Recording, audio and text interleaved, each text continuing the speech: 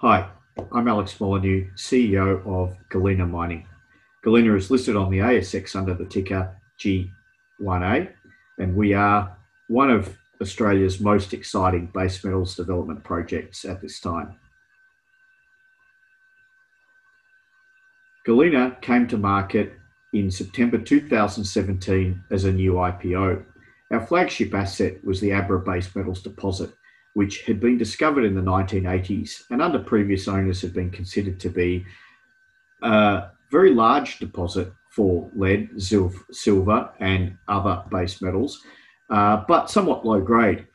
Uh, our contention when we brought it to IPO was that within this lower grade um, halo, if you like, could be one or two contiguous higher grade lodes. And if that contention could be proven correct, there could be a very interesting and high return mine plan that could be put around that. So the company post IPO immediately commenced uh, drilling. The drilling results were excellent, very high grade, thick intercepts of lead and silver.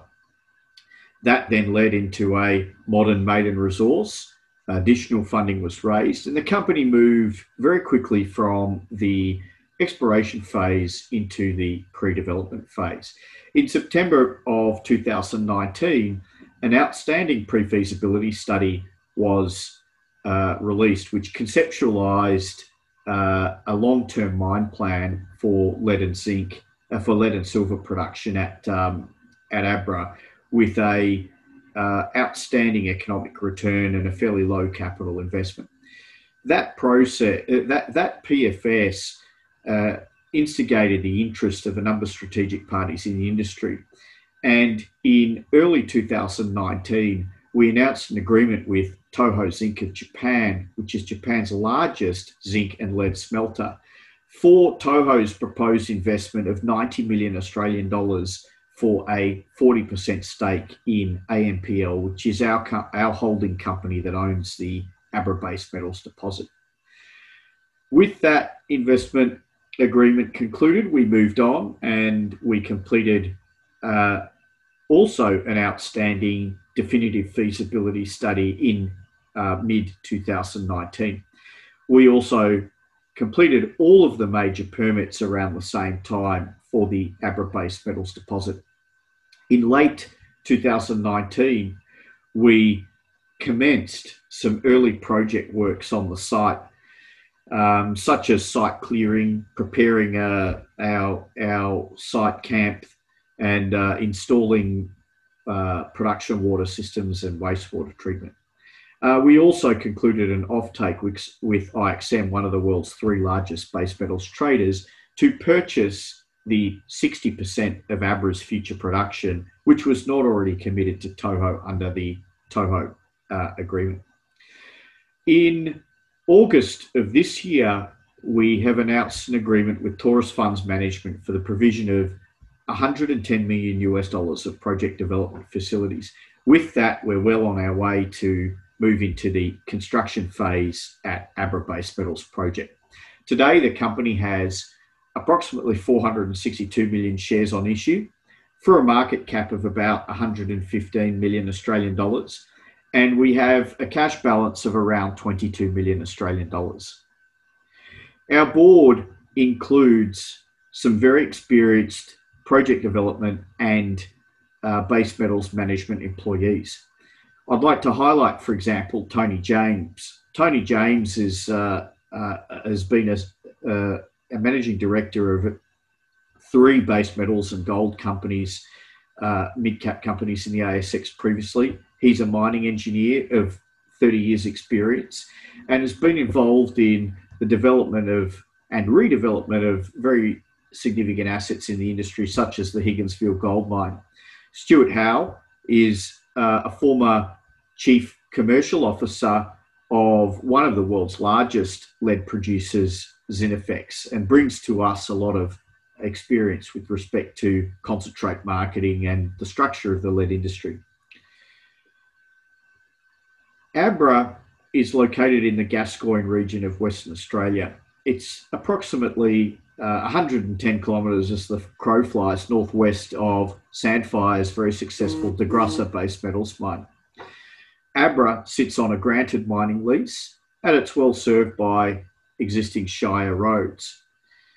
Abra will be is connected by road to Geraldton Port, one of WA's Midwest ports, which is our proposed export terminal for our lead concentrate shipments. The Abra mineralisation model has been debated over time. It's not a SEDEX deposit, it's a deposit where hydrothermal fluids entered into a sedimentary basin and at, the, at, at some point reached um, very competent layers of sediments and, uh, and then the, the mineraliz- mineralization stopped rising and spread laterally within certain certain lithological uh, layers of the sedimentary basin, and it presents itself as a fairly contiguous, somewhat disseminated lead mineralisation within those uh, lithological units. This is what Abra's mineralisation looks like. On the left, is a is massive galena. Uh, what you're looking at is is is pure galena in, in in in that core photo right there. That's generally how the mineralization presents itself in the core zone, the zone of the hydrothermal fluids which fed that uh, upper zone, which we refer to as the apron zone. The photo on the right shows the mineralization in the apron zone in its typical form. You can see it's taken the matrix of uh, the sedimentary units, but you can also see that deep, uh, somewhat shiny uh, grey layer of material, which is how the lead is presenting itself in, in, in those units. Our mineral resource is 41.1 million tonnes at 7.3% lead and 18 grams a tonne silver. The resource is based on 76 thousand cumulative linear meters of drilling at Abra. Now, 55% of those holes uh, or, or, those meters are new, and meters we have drilled since the IPO of Galena in 2017. So, uh, whilst Abra has been around for a number of decades, we can say that um, in terms of knowledge of, of the deposit and its geology, uh, it's it's it's been completely overhauled in in the last few years with a significant amount of work. We're currently in the midst of an additional uh, drilling program at the moment, um, which uh, is in excess of 15,000 cumulative linear meters. This is how uh, the re- resource appears in a three-dimensional image. You you can see the red is the high grade um, core zone. We call it the, the hydrothermal feeder zone. But the main source of the mine plan is in this golden, uh, these blankets of contiguous mineralisation uh, uh, laying, lying on top with a, a, a much shallower dip. In terms of reserve, uh, we completed a reserve alongside our definitive feasibility study in 2019. The reserve is based on uh, the December 2018 resource, i.e., a resource that was available prior to the current resource because uh, we were drilling throughout the period that we completed the DFS. And uh, we obviously were continuing to drill. So the, the reserve was 10.3 million tonnes at 8.8% lead and 24 grams a tonne uh, silver. The mine plan itself, presented in the feasibility study, incorporated 16.3 million tonnes of material uh, in a 1.2 million tonne a year mine plan for 16 years of mine life. The DFS head grade is 8.1% lead and 20.2 grams per tonne silver. This is what our feasibility study mine plan looks like in terms of an image. Uh, the orange uh, lines, if you like, are our capital mine development, our box cut, our uh, mine decline, and uh, you know horizontal, horizontal and vertical uh, development meters. Those the pink shaded blocks are our proposed um, long hole open stopes, and also in certain flat lying areas, a little bit of room and pillar mining. Metallurgy is one of our project's key strengths. The, the, the, the whilst whilst Abra is uh, polymetallic uh, deposit as, as similar sulfide base metals deposits are, it's very zonal. So in the in the in the upper part of the deposit, the sulfide mineral that is dominant is galena, and there is some lead uh, uh, let's say, um, coincident with the, so there's, there's some silver coincident with the lead mineralization. So um, we have a very pure, in, in, in the lead silver resource, uh, we don't have a lot of competing minerals for recovery. So our metallurgical testing showed that conventional sulfide flotation re- resulted in very high grade recoveries, uh, very high recovery numbers, so 93 to 95% uh, recoveries. Our DFS uses 94%. And the material, the ore recovers through that process into a very, very high grade product 75% lead grade lead concentrate. That would be the highest grade lead concentrate commercially available in the world. Now, lead, like other materials, lead concentrates are becoming in the, the environmental regulations governing these materials are increasing. The cost of disposal of penalty elements in lead concentrates, which are things like arsenic, mercury, and cadmium, is increasing dramatically. China is introducing and tightening new limits on the import of those uh, deleterious elements. As a result, the value of a clean concentrate is very high. Galena's concentrate will effectively be the cleanest commercial concentrate globally.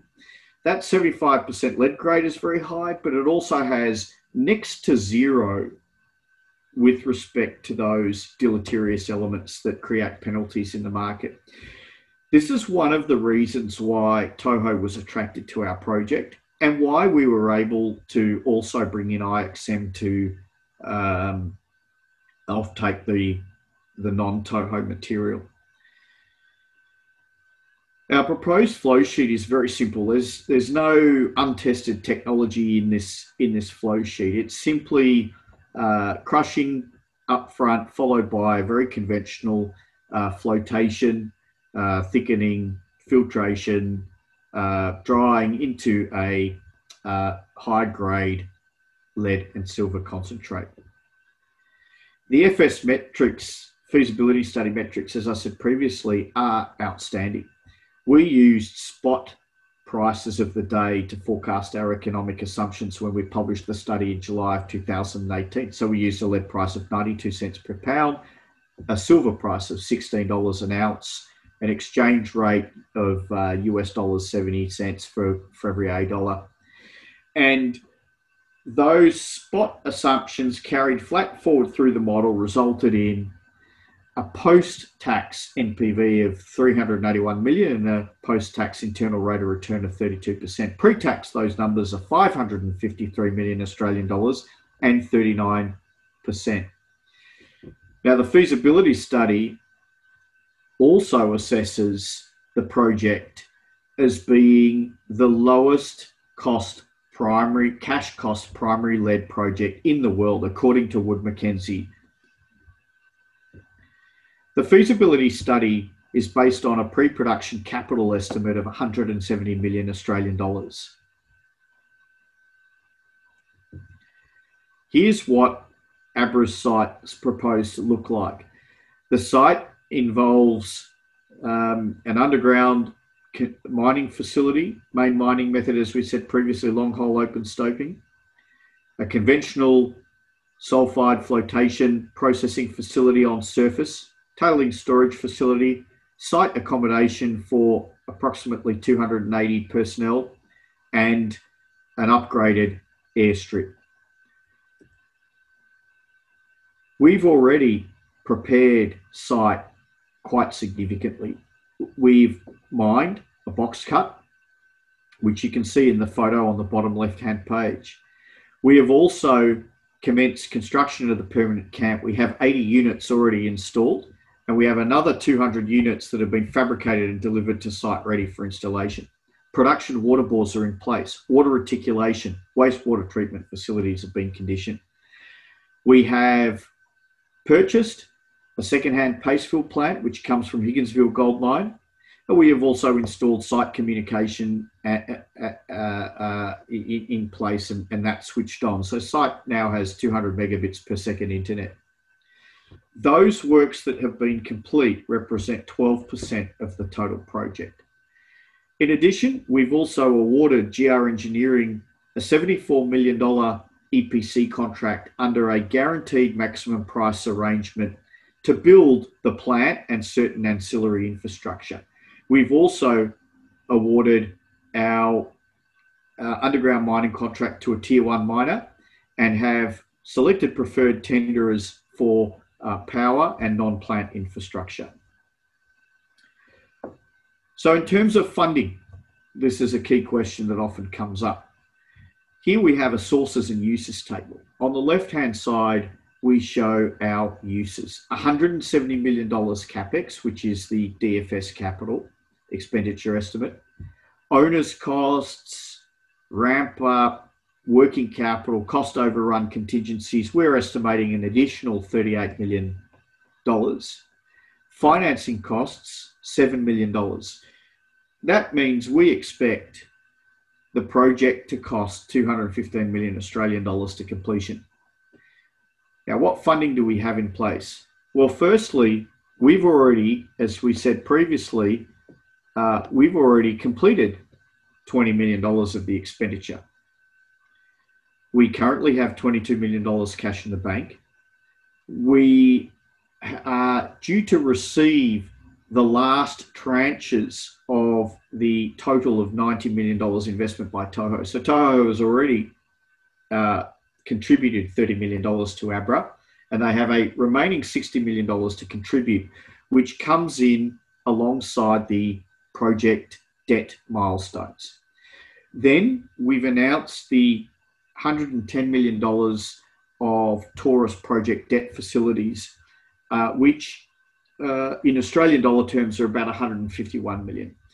So with that, we have 253 million Australian dollars of funding available to us. That would create a buffer, if you like, uh, compared to our proposed expenditure plan of about $38 million. Now, the key here is the status of the Taurus debt. The Taurus debt, uh, we've uh, entered into an agreement with them and we've publicly announced it.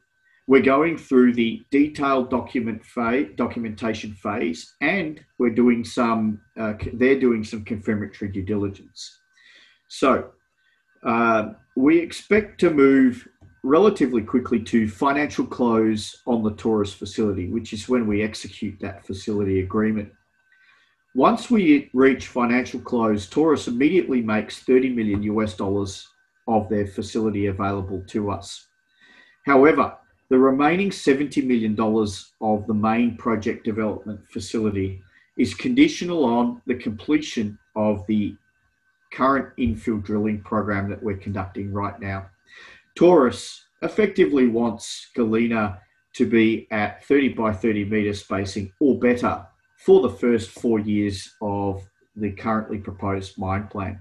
So we're working on that program now and the idea here is that fi- financial close will occur once we execute the facility agreement. We'll still be drilling at that point. Then, once the drilling information is available, um, we'll determine the completion of the, the condition on making the remaining 70 million US dollars available. With the full facility available to us, as you can see, we believe we're relatively comfortably funded through the ramp up, the construction and the ramp up phase at Abra. So, what's coming up for us in terms of milestones? Firstly, it's very important for us to conclude the project financing facility and also meet the conditions for that facility. Concluding that facility and meeting such conditions triggers the final $60 million Australian to be received from Toho under their investment agreement. It then triggers the move by us into a financial investment decision and to, to enact the procurement and construction phase of the EPC contract and commence the underground mining operation. At the moment, we are partly through this infill and optimization drilling uh, program. We've not yet received any assays, uh, but we will be receiving assays over the next few months, and those will be very significant news flow items for us. Every time we've infilled Abra here uh, over the last two and a half years, we have added metal through those programs. So we're very optimistic that we'll get similar results with our current proposed program. We're also working on some optimization initiatives. Uh, one is to try to reduce the pre-development capital with a redesign of the primary decline, uh, but also some of the information we get from this drilling program is going to help us optimize the early years of the mine plan. And we believe there's some significant savings to be introduced into our model that way. Uh, once we get the financing closed and we move into construction, there will be obvious construction and commissioning milestones. We also have a significant exploration presence in our home, which is the Edmund Basin. Our exploration includes a few things. Number one, there is a copper gold zone immediately beneath and offset to the south of the existing Abra lead silver resource. Some of the historical drill results that we've had in that zone would be the envy of any copper or gold producer. For example, 13 metres at 6.3 grams a tonne gold, or 8 metres at 2.8 grams a tonne gold with 1.5% copper, 12 metres at 3 gram a tonne gold with 1.1% copper. There's potential for a significant copper and gold ore body to complement our existing lead and silver mine. We've done a lot of work recently on where the core of the copper and gold zone might be. And that work includes downhole electromagnetic work and reinterpretation of historical drilling results. As a result, we believe that the, the core of the copper gold zone is associated with a strong EM conductor plate running across the south of our deposit. We intend to drill that as part of our ongoing infill drilling program right now. Some of those holes will be uh, designed to intersect this uh, very exciting target. Beyond Abra, we own 76 kilometres of contiguous strike in the Edmund Basin uh, to the west of Abra. Now, the Edmund Basin is a sedimentary basin wedged between two very well known geologies the Yilgarn Craton to the south and the Pilbara Craton to the north. Edmund Basin is relatively small and not that well covered from a geological perspective. Abra is the first commercial base metals discovery in that in that uh, basin. The key to finding Abra and unlocking its value has been geophysical analysis because, in general, in this basin, ore bodies don't have surface expression. There's not a lot of outcrop in this basin. The main geological feature is a fault system running east to west, known as the Quartzite Well Fault System. Our ground in the basin is contiguous along that, that fault system. We are the experts in geology in this basin as well. and we have been conducting geophysical programs across our inter- entire land holding and have a number of very exciting targets which are Abra like.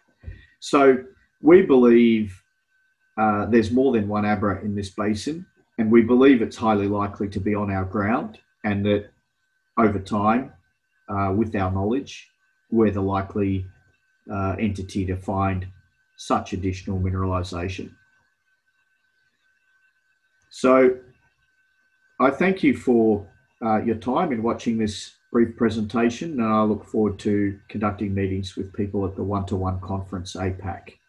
Thank you very much.